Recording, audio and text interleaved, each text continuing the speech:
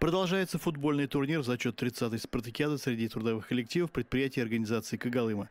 Свои сборные выставили 8 команд, пока идут предварительные игры в двух подгруппах. Напомню, в турнире принимает участие Лукойл Западная Сибирь, Кагалым Энергонефть, Дворец спорта, Спецнефтетранс, Кагалым Нефтегеофизик, Буровая компания Евразия, Лукойл АИК и Аргос. Минувшие выходные состоялись второй и третий туры. Они прошли в спортивном комплексе «Сибирь». Геофизики и транспортники разошлись боевой ничьей 1-1, а Аргос сильно уступил Лукойл АИК 2-7. Кагалым нефтегеофизик также забил 7 мячей Аргоса, на что он ответил одним. Спецнефтетранс забил три безответных гола Евразии. В подгруппах сейчас лидирует Лукойл Западная Сибирь и Спецнефтетранс.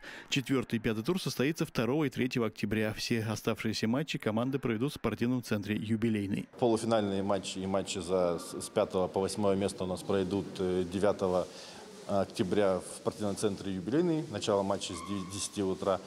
А финальные матчи уже, матч за третье место и финал состоится 10 октября. Матч за третье место 12.00, финал в час 30.